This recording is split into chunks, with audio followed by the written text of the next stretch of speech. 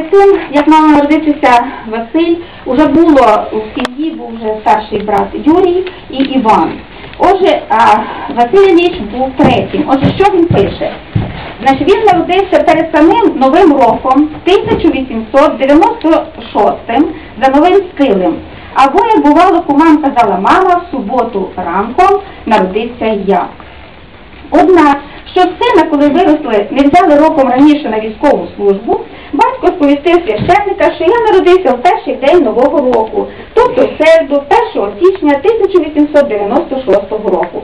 Таким чином, чотири дні, суботу, неділю, понеділок і вівторок, я прожив нібито незаконно.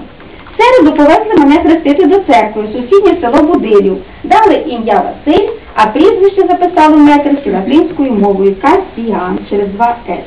Тому воно так писалося і пишеться досі іноземними мовами. З роками сім'я наша зростала. Після мене народилася сестра Марія. Їдемо в Київ, до Вуйка. Ну, я, звичайно, була страшенно щаслива до Києва, до Вуйка.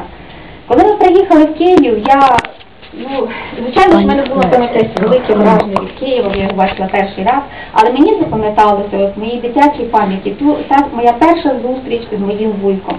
Коли ми зайшли у квартиру, Зі мною як з дитиною він говорив по одному, тому що я пам'ятаю, коли я з мозаїку, та дитяча була такі пластмасові такі е, квадратики, з яких можна було складати всякі малюнки. Ну я також десь там е, любила щось складати, склала якусь квіточку, там ще щось.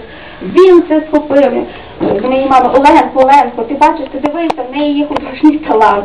Тобто він тішився е, будь-чому, якщо щось вже дитини є якась любов до, до малювання, чого він дуже це підтримав. Очевидно, ті учні, яких він випустив, напевно, це могли підтвердити, що він не був такий от я, такий от художник, а ви от там, значить, не маєте там.